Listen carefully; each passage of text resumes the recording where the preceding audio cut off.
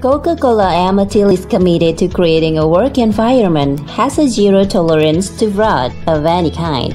Therefore, all employees are expected to understand what is fraud, how to prevent fraud, where to report fraud, and the impact of fraud. What is fraud?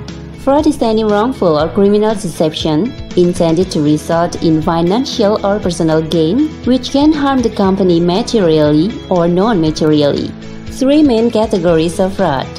Assets misappropriation. For example, theft of Amatil assets, either cash or non-cash items, stealing cold drink equipment, creating false invoices,